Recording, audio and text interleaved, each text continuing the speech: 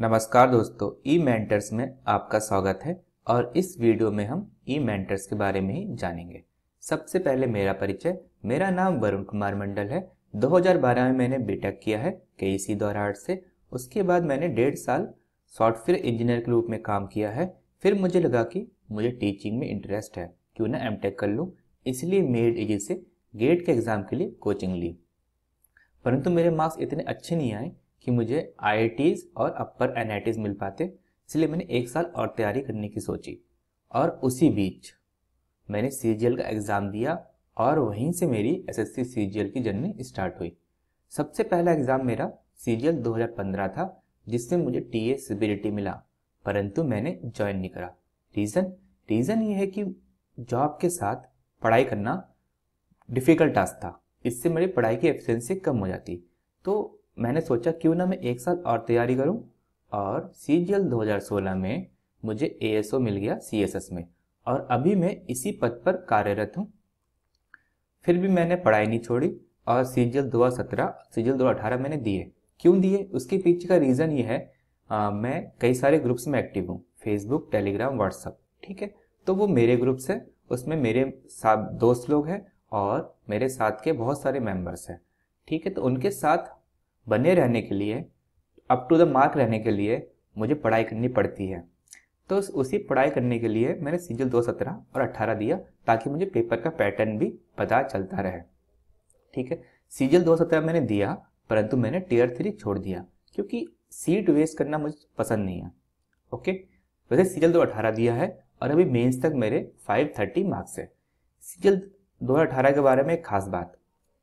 अभी कई लोगों ने अपने मार्क्स नहीं देखे होंगे, क्योंकि सिर्फ़ एक दिन के लिए जो लिंक है वो शेयर हुआ हर जगह पे, ठीक है? लिंक जो शेयर हुआ हर जगह पे हुआ है, लेकिन वो जो ऑफ़ लिंक एसएससी ने अपने वेबसाइट पे नहीं डाली थी। वो जो लिंक थी, वो पुरानी लिंक थी, जो प्री के टाइम पे निकाली गई थी लिंक वही लिंक थी। उसी लिंक पर आई थिंक टेस्टिंग फ़ेज़ पे था। तो टेस्टिंग फ़ेज़ पर लोगों ने उसको निकाल दिया तो लोगों ने अपने मार्क्स देख लिए, ठीक है? मुझे लगता है कि अगर टेस्टिंग फ़ेज़ पर था लिंक तो वो टेस्ट कर रहे थे। ठीक है? और जब ऑफिशियल लिंक अनाउंस होगा एस के द्वारा तो उसमें मार्क्स में कुछ चेंजेस देखने को मिल सकते हैं। क्यों मिल सकते हैं? उसके पीछे का मेरे, मेरा रीज़न ये कहता है जैसे तेरह की शिफ्ट थी ठीक है? तेरह तारीख की शिफ्ट थी तो उसमें जो इंग्लिश के मार्क्स थे उसमें बहुत ही अजीब टाइप से मार्क्स इंक्रीज हुए हैं।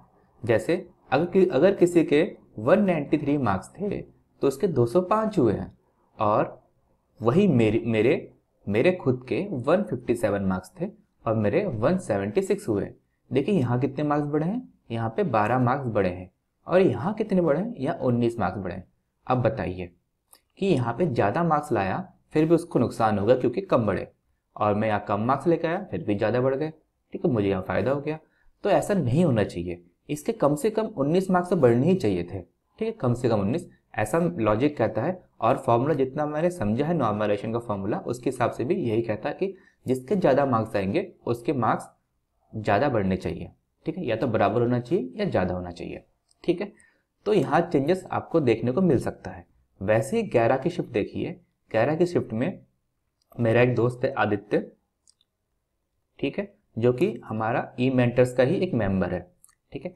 तो आदित्य के मार्क्स आए थे मैथ्स में। 183 ठीक है मैथ्स में 183 मार्क्स कितने अच्छे मार्क्स है है ना? परंतु नॉर्मलाइजेशन के बाद उसके 182 हो गए। क्या हो गए? नेगेटिव हो गया। और वहाँ हो गया इलेवेंथ वालों की शिफ्ट को नुकसान हो रहा है। और ऐसा नहीं होना चाहिए, क्योंकि एवरेज क्या एवरेज क्या?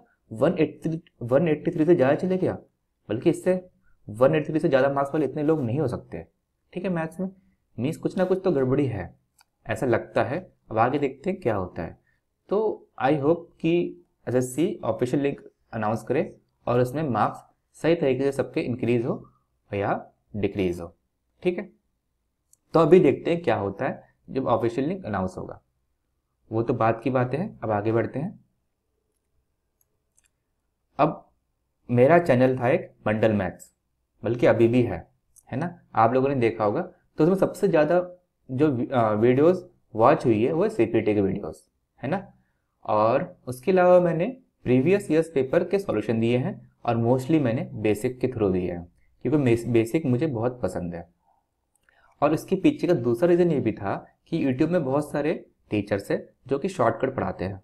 जब लोग वहाँ शॉर्टकट सीख ही रहे हैं तो क्यों ना मैं बेसिक अप्लाई करूँ? तो मेरे पास जितना भी टाइम मिलता है जॉब के अलावा, मैं कोशिश करता हूँ कि लोगों को बेसिक आ जाए। क्योंकि अगर बेसिक आ गया ना तो शॉर्टकट आ ही जाएगा, पर शॉर्टकट से बेसिक कभी नहीं हो सकता। ठीक है? ओके, अब आगे बढ़ते हैं। जो हमारा जो हमारा लास्ट सीरीज़ है इस चैनल पर, मंडल मैथ चैनल पर, वो है सी जी एल दो हज़ार अठारह का, जो कि अभी भी प्रोसेस में है, और मेरी कोशिश है कि मैं इसमें बेसिक के साथ आपको शॉर्टकट भी दूँ।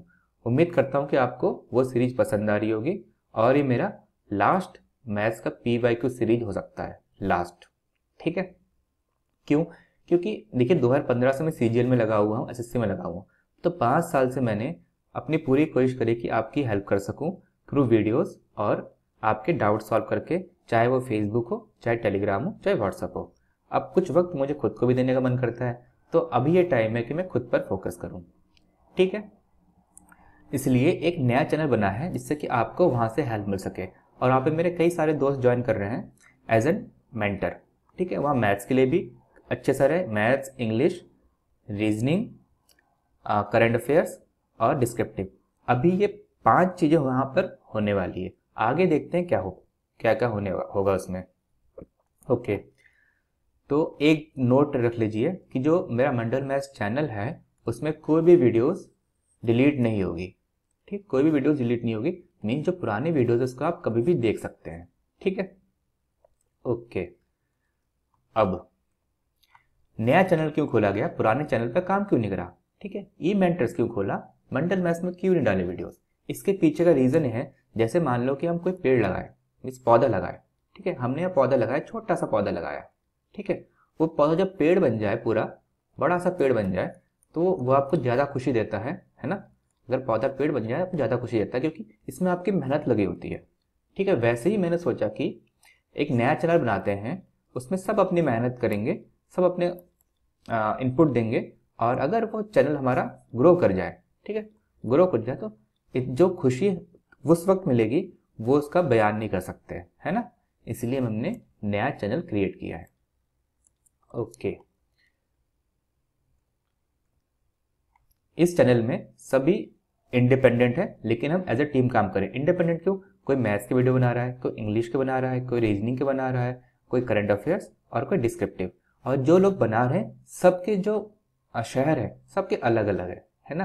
कोई दिल्ली में है, कोई कानपुर में है, कोई उत्तराखंड में है, कोई आंध्र प्रदेश में है तो सबके शहर भी अलग अलग है। तो हम हम सब जो लिंक्ड है, हम भी ऑनलाइन लिंक्ड है एक दूसरे से। और जितने भी मेंटर्स हैं, सब अपने सब्जेक्ट्स में काफ़ी अच्छे हैं और वीडियोस वॉल्ट्रली बना रहे हैं, जैसा कि मैं अब तक मंडल मैथ्स में बनाते हुए आया हूँ, ठीक है? ओके। और हमारा मोटिवेशन का की क्या है? जो हमारा मोटिवेशन है, वो आपका सपोर्ट है। आपका जितना सपोर्ट मिलेगा, हमें उतना वीडियोस बनाने का मन करेगा। और हम उतने ही अच्छे कंटेंट डिलीवर करने की कोशिश करेंगे। है ना? अब देखते हैं मेंटर्स कौन कौन है इस चैनल के। मेंटर्स है मैथ्स के लिए पुष्पेंद्र सर इंग्लिश के लिए सत्यवली सर रीजनिंग के लिए सौरभ सर करंट अफेयर्स के लिए इतिका मैम डिस्क्रिप्टिव के लिए प्रीशा मैम और एक स्टैंड बाय मेंटर है आदित्य। मैं आदित्य का नाम पहले भी ले चुका हूँ। जब मैंने इलेवेंथ के शिफ्ट की बात करी थी, जिसमें मैथ्स में 183 मार्क्स थे, पर नॉर्मलाइजेशन के बाद 182 हो गए।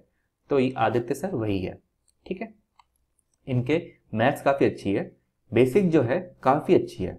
आदित्य सर के बेसिक्स बहुत ही अच्छे हैं, और अभी ये इलेवन ट्वेल्थ के बच्चों को भी पढ़ा रहे हैं अपने शहर में, है ना? तो अभी वहाँ पर लगे हुए, साथ में ये डिस्क्रिप्टिव की तैयारी भी कर रहे हैं। ओके और ये इनका लास्ट अटैम्प्ट है सी का। वरना ये ओवर एज हो जाएँगे 2019 में। इसलिए दो महीने डिस्क्रिप्टिव के पीछे लगे हुए हैं। अच्छी तैयारी करना चाहते हैं, इसलिए भी स्टैंड बाई पर है। ठीक है? अब जो अदर मेंबर्स है, वो है वरुण, प्रीति, स्मृति, मनीष गर्ग। जो हम दूसरे मेंबर्स है, हम बस थोड़ा बहुत हेल्प कर लेते हैं इन मेंटर्स का। ठीक है, जैसे मैं वीडियो बना के आपकी हेल्प कर रहा हूँ, है ना?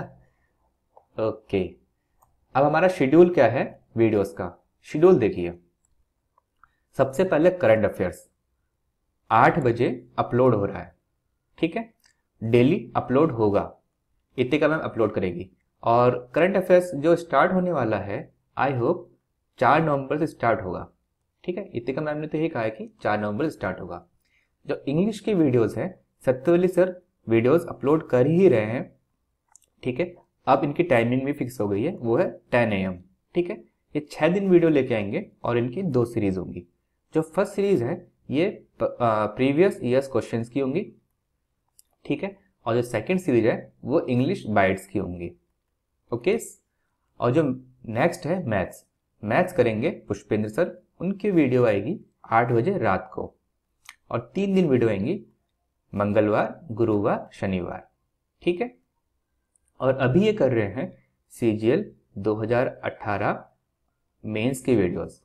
ठीक? ये ख़त्म होने के बाद ये एन के वीडियोस करेंगे।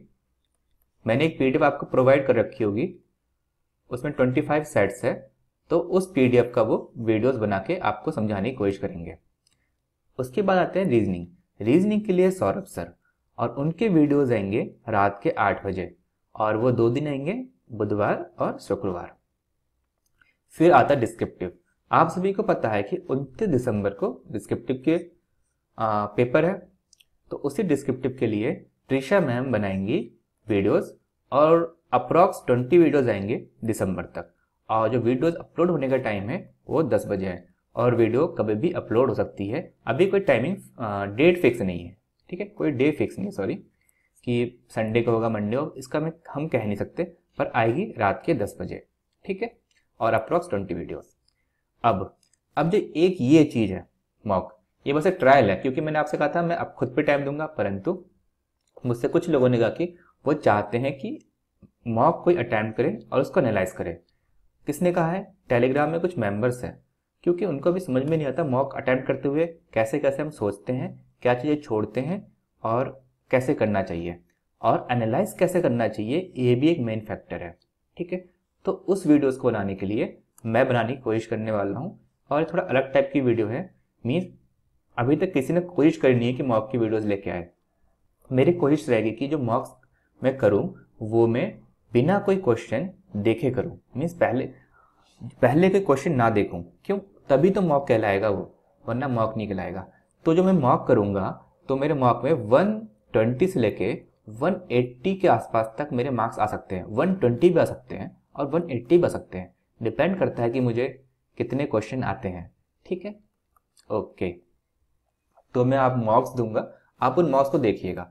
जो मॉक का अटैम्प्ट है, वो ये वाला वीडियो मैं आपसे कहूँगा, आप देख भी सकते हैं, नहीं भी देख सकते। ये आपकी मर्ज़ी है, क्योंकि मॉक अटैम्प्ट करने के बाद मेरे दिमाग में क्या चल रहा होगा, क्या पता मैं ना बोलूँ। ठीक है मॉक अटैम्प्ट करते हुए मैं क्या पता शांत रहूँ। क्योंकि जब हम पेपर देते हैं तो हम शांत रहते हैं। अगर मैं शांत रहूँगा तो आप एक घंटे पता नहीं किसी मूव मूव दर्शक की भांति आप भी देखते रहोगे तो उससे आपका टाइम वेस्ट होगा। तो मॉक अटैम्प्ट देखते हैं, आपको सही लगता है, नहीं लगता, मुझे नहीं पता। तो इस वीडियो को आप देख भी सकते हैं और नहीं भी देख सकते हैं। अब एक बार देख के देख, देखिएगा कि कैसा लग रहा है। पर जो मॉक एनालाइज है, उसको आप ज़रूर देखिएगा, क्योंकि ये बहुत मेन फैक्टर है।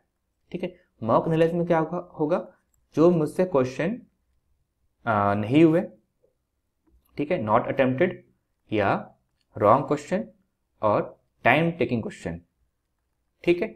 तो कुछ चीज़ें हम मॉक एनालाइज में करेंगे कि किसमें हमारा कितना टाइम लग रहा है क्या हमने छोड़ दिया और क्या हमारे रॉन्ग क्वेश्चन हो गए ठीक है? तो मॉक एनालाइज के बाद ये देखेंगे हम। तो, तो जो टाइमिंग होगी हमारी वो रात के साढ़े नौ बजे होगी और हफ़्ते में एक मॉक करूँगा अभी। One week sorry one week में वन मॉक ठीक है? तो जो अटेंड करूँगा, या तो संडे को करूँगा, या मंडे को करूँगा, जो एनालाइज करूँगा, वो मंडे और ट्यूसडे, ठीक है? तो आपने देख लिया कि यहाँ पर पाँच टॉपिक्स आपके पास, पाँच सब्जेक्ट है current affairs English maths reasoning descriptive इनके वीडियोस की टाइमिंग है आठ बजे, दस बजे सुबह, फिर रात के आठ बजे, रात के आठ बजे, और रात के दस बजे, ठीक है? तो ये टाइमिंग है और ये एक्स्ट्रा वीडियो है मॉक की, ठीक है? ओके अब आते हैं। वीडियोस तो बन गए। आपने वीडियो देख लिया, पर आप चाहेंगे कि हमसे इंटरेक्ट भी करें। तो हमसे इंटरेक्ट कैसे कर सकते हैं? वो है तीन सोशल मीडिया के थ्रू वो है फेसबुक टेलीग्राम और व्हाट्सअप फेसबुक का हमने एक पेज बना रखा है तो आप पेज को ज्वाइन कर सकते हैं, ठीक है? टेलीग्राम चैनल भी है टेलीग्राम ग्रुप भी है। आप उनको भी ज्वाइन कर सकते हैं। और व्हाट्सएप ग्रुप को भी ज्वाइन कर सकते हैं, ठीक है? व्हाट्सएप ग्रुप अभी बनाया नहीं है और आई थिंक हम आज बना देंगे, ठीक है? टुडे हम व्हाट्सएप ग्रुप बना देंगे तो उसका जो लिंक है डिस्क्रिप्शन में आपको मिल जाएगा। जितने भी लिंक है फेसबुक पेज का टेलीग्राम चैनल और ग्रुप का, और व्हाट्सएप ग्रुप का, आपको उसका लिंक डिस्क्रिप्शन में मिल जाएगा। आप ग्रुप तो ज्वाइन कर लेंगे, पर जो ग्रुप होता है, वो कैसे चलता है?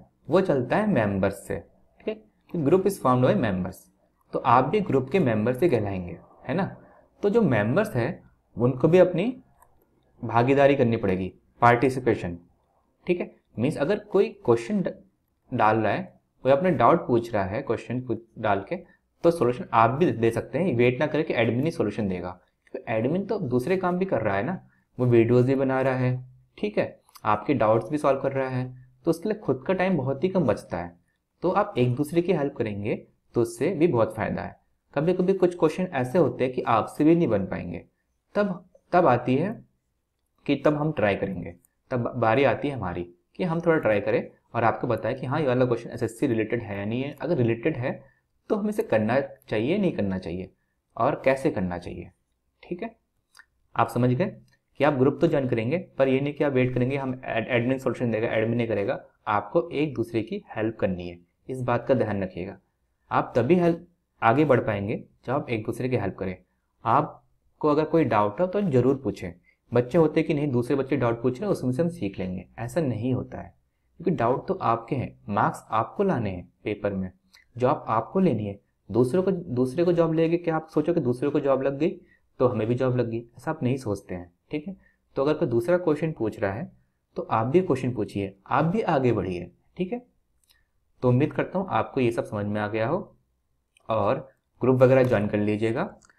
तो दोस्तों, अभी के लिए इतना ही। बाय दोस्तों and have a nice day